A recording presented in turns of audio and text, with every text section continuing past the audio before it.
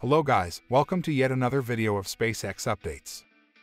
The year 2022 is about to end, but not just yet for SpaceX. For the 60th time in 2022, today, SpaceX launched a Falcon 9 rocket from SLC-40 from Cape Canaveral Space Force Station in Florida. two, one, engine full power, and liftoff of Starlink 5-1. Go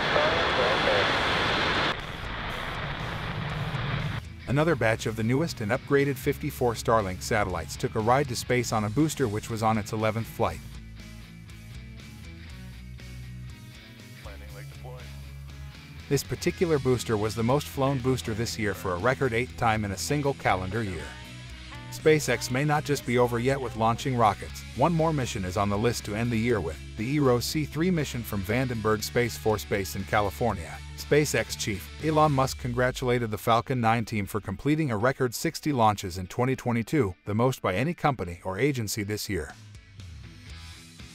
Going across Texas, with the temperature rising up slowly after a brutal winter storm across the whole country, crews are returning to work.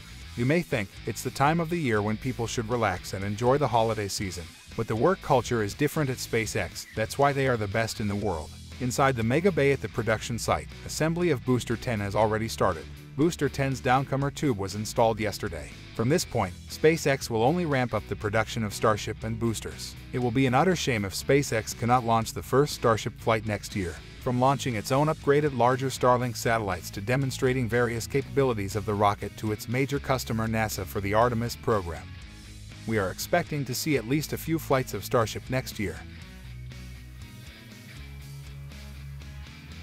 Last week, NASA announced that SpaceX was awarded a $97 million contract to launch the joint U.S.-European Sentinel-6B radar satellite as early as November 2025.